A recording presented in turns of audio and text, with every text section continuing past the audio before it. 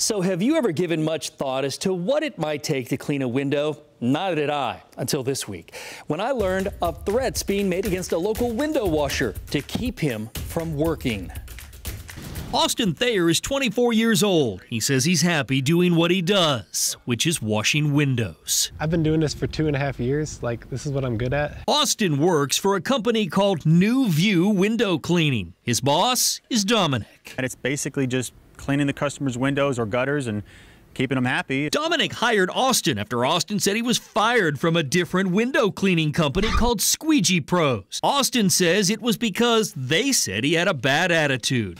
But that pain was now behind him. His future was looking clear with his new job until his new employer, Dominic, was sent this letter from Austin's old employer. Well, the letter was basically a cease and desist letter from his attorney stating that if I didn't fire him immediately, they'd be taking us to court for breach of contract. When I thought that was a bit ridiculous. Then a second letter arrived. That letter now demanded proof that Austin was not being employed as a window washer. The letter also threatened future legal action. There's no customer list that we're privy to or anything like that. The lawyer who wrote these letters politely declined to be interviewed for this story. I emailed Squeegee Pros wanting to ask them about the need for a non compete for a window washer. The office manager wrote me back saying she cannot comment on a legal matter.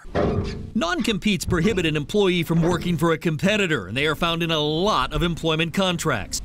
They protect company secrets and basically prohibit employees from taking business and clients with them when they leave. The lawyers I spoke with told me the courts here in North Carolina do uphold them so long as they're limited in time, scope, and geographical area. This one, though, doesn't mention area, and for that reason, it may be unenforceable.